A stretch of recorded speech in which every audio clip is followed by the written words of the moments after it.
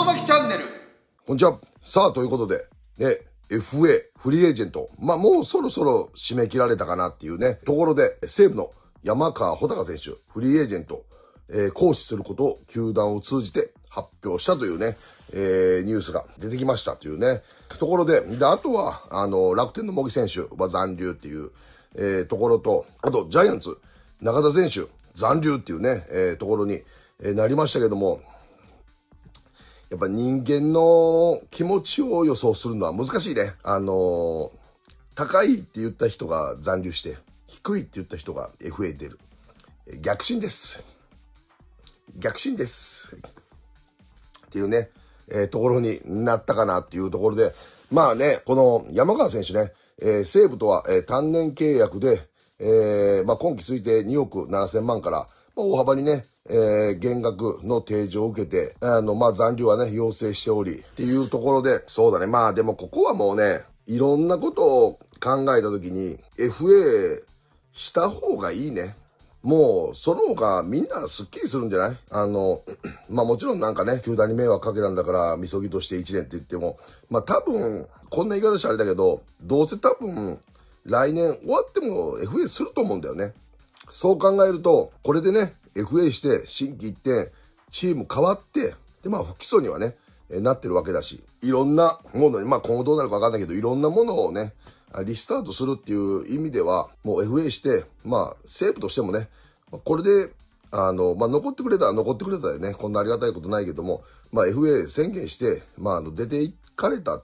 からと言ってね、まだここをね、リスタートして、渡辺選手もね、えー、成長してきてるっていうところもあるし、まあ、マキドンもね、えー、いい形で、えー、1年目活躍できたっていうところもあるし、まあ、おかわりくんも、いるしね、ウネンティンとかね、そういったところで考えると、もちろん同じようなホームランね、3、4発、10発打つっていう選手はなかなか出てこないけども、まあ、チームとしてはね、まあ、これでまた、あの、新しくね、チーム作りをスッキリとしていけるっていうところもあるし、山川選手本人にとってもね、これでまた、あの、環境を変えて、まあ、スッキリっていうところでは、あの、この FA 宣言は、人生の野球人生をね、リスタートを切るっていう意味では、非常に良かったんじゃないのかなと、佐々木は個人的に思います。で、まだ年齢もね、31歳なんでね、まだプロ野球選手としては、中堅どころっていうところもあるしね。まあ、これであとはどこがね、まあ、取りに行くかっていうところでは、ソフトバンク。うん、ソフトバンクと中日の一騎打ちちゃうかな。まあ、あとはどこまでね、条件出せるかっていうね、えー、ところもあるけども、この、もしソフトバンクが西川山川を両取りしたら、打線えげつなくなるからね、正直ね。そしたらもう、どう考えてももう中村晃は控え、っていうか、ウォーカーももう試合出れへんのちゃうかっていうね、ところはあるし。で、まあね、山川選手もコメントとしては、あのー、この重い責任っていうところをね、持ち続けるっていうね、えー、ところもあるんでね、まあそういったところはね、あのー、相当ね、まあこのギリギリまでっていうところで言うとね、非常に本人もね、悩んだと思うんだよね。だからあの、山川選手も、えー、コメントとしてはね、えー、この度私が取得していただいた FA 権の行使について皆様にお伝えしていきますと。結論を先に申し上げますと、今回 FA 宣言させていただく決断になりましたと。皆様に多大なる不快な気持ち、えー、不信感を生んでしまった一連の出来事を通じて、ただ野球をするということだけでなく、関係する全てのことを自分一人で考え、また家族と考えさせていただきましたと。えー、野球から離れることだけではなく、社会から離れることまでも考えました。それでも私の心から消えずに残りつけたのは野球がやりたいと。野球をさせていただきたいという答えでした。プロ野球選手として、えー、恥ずべきことですが、ここまでの気持ちになったのはこれまでの野球人生で初めてですと。この私の位置を受け止めていただいたことがあるならば、ライオンズに居続けることがファンの皆さん、球団の皆様に対する感謝の気持ち、謝罪の形、誠意であるということも考えていますと。同時に FA 宣言を持つ選手の権利として定められた制度という、えー、理解を超え、これまで聞いたことがなかった声を、えー、聞かせていただくことで自分自身を、えー、戒めることとなるのではないかと考えましたと。FA 宣言による西武ライオンズ以外の球団の考えを聞いた上で、え、残留か移籍の判断をさせていただくことは、新たな野球人生へ歩ませていただきたいという私の一方的な願い、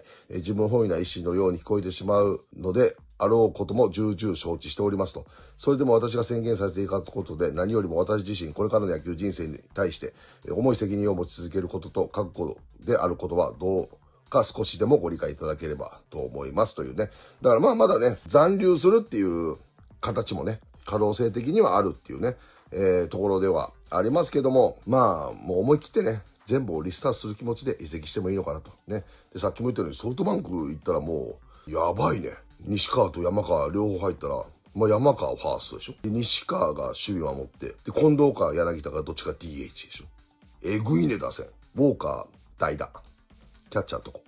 っていうことになるね。もう外国人選手いらないね。これ取れたらね。まあどうなんだろうっていうね。あと、ドラゴンズはね、やっぱり立浪監督、来年3年目、もう絶対結果をね、残さなきゃいけないっていうところで、ファースト山川をね、取れたらめちゃくちゃ大きいよね。まあ山川なんかフェニックスリーグでもサードの練習してたっていうね、えー、情報もあるし、そういったところでは複数ね、ポジション守れるのに越したことないし、ドラゴンズとしてはね、もう山川だったら別にバンテリンドームとか関係ないからね、バンテリンドームでも3、40発は楽勝でね、ホームランを打つっていうことをね、考えると、ドラゴンズもね、欲しい。あとはマネーゲーム。これをね、勝てるかどうかだけ。ところで、まあ他の選手のね、FA の動きにも影響してくるんじゃないのかなっていうところでね、まあ佐々木的にはもうね、えー、新たな気持ちでリスタートで、まあ FA で移籍して、そこでまたね、あの、まあ、いろんな思いはあるだろうけどね、謝罪の気持ちはずっとあるって本人も言ってましたしね、ここはもうね、リスタートを切ってまた頑張ってもらいたいなっていうところもあるんで、まあ、一石の方がいいんじゃないのかなと、ね、まあ、宣言残留を認めてるっていうことなんでね、今後どうなるかはわかりませんけども、そういったところではね、まあ、進捗状況を、えー、見ていきたいと思います。そしてね、ジャイアンツ中田選手、残留っていうね、ところで、やっぱりちょっと、高年俸がネックかな。やっぱ FA になってくるとね、そこが絡んでくるから、中田翔、年俸が3億円だもんね。3億円。結構ジャイアンツでも上位ランクだからまあ B ぐらいは B は行くと思うんだよね。A まではいかないと思うんだよね。坂本とか菅野とかね、えー、いるから。でもまあ B 保証も行って3億円。FA でなんかメディアでもあんまり調査書とか調査してますみたいなところもなかったしね。ひょっとしたらタンバリングじゃないけども、タンバリングじゃないお話っていうのがね、なかったのかもわかんないよね。だからちょっと宣言、行くとこなかったらもう自動引退になっちゃうからね、FA はね。あの、日本はね、FA するものだから、メジャーには FA になるものだけど、日本は FA するものだから、FA した瞬間に取るとこなかったら自動引退みたいな感じになっちゃうから、ひょっとしたら何の声もかかんなかったのかなっていう、まあひょっとしたらかかってたっていうところもあるしね、いろんなところで想定して、まあやっぱりね、山崎幸也とかね、やっぱり年俸安くて C ランクっていうのもあるから、この FA もね、なかなか難しい。しかも山川がしたっていうところで考えると、山川と中田になってくると山川の方が先になるからね、獲得としてはね、まあ年齢的なことも考えても、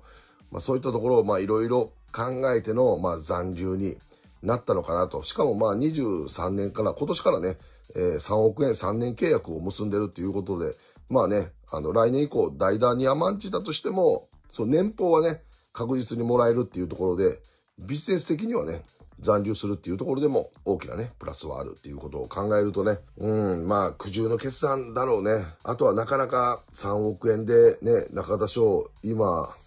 年齢が34歳だからね、来年35歳。なかなか難しかったのかなっていうね、ところはあるのかな。まあでもね、あの、安倍新監督は、ファースト岡本、サード坂本、ショート門脇だけ決まってるって言ってたから、そうなってくると、もう思い切ってウルトラ C は、レフトの練習だけどね。もともと中田、日本ハムの時レフトだったからね、最初。俺は現役の時はね。で、めちゃくちゃスローイングとかもいいしね、肩も強いし。その動きっていうところはね、まあ、もう現状にイプさはあるかもわかんないけど、スローイング送球はめちゃくちゃ良かったからね、まあ大阪桐蔭でピッチャーやってたっていうところもね、あるからね。だからもう思い切ってレフトにね、転向して、外野にね、そこでチャンスを広げるっていう形がね、一番いいのかもわかんないね。それがね。そしたら打線の厚みも出るし、代打に甘んじることもないし、ね、最後のまあ大勝負として、でまあね、誰かが怪我した時にはファーストにね、いけるっていうところも不足の事態ではあるしね、まあ、思い切ってレフトの練習をね、して、勝負っていうところもね、正直あるかなっていうね、ところですね。まあ、あとはね、FA した、だから、石田、えー、西川、えー、そして山崎幸也、えー、山川ね。この確か4人だよね。まあ、今後ね、どういう遺跡情報を辿っていくかっていうところでね、また随時ね、動画は上げていきたいと思います。ということで、佐々木が動画に出した FA の関連予想、まあ妄想だけどね、全く当たりませんでした。やっぱり、人間の考えることを察知するのは難しいね。外れてるやないかって言ったって、それはもう外れるよ。わかんないんだから。ただ、したらこういうとこがいいんじゃないのっていうところだからね。そこら辺はまあね。まあでも、山川、そして山崎幸也、石田ね、そして西川。まあこれはもうどういう移籍をたどるかによって、そのチームのね、来年優勝争いできるかどうか、優勝するかどうかも関わやってくるからね。山川、西川、ダブル取りでソフトバンク行ったらどえらいことになるからね。正直どうなるのかっていうところはね、えー、見ていきたいと思います。ね、石田、西川のダブル取りオリックスがしたらまた4連覇あるのかもあるからね。えー、そういった意味ではね、えー、このまま引き続き見ていきたいと思います。ということで FA 情報でした。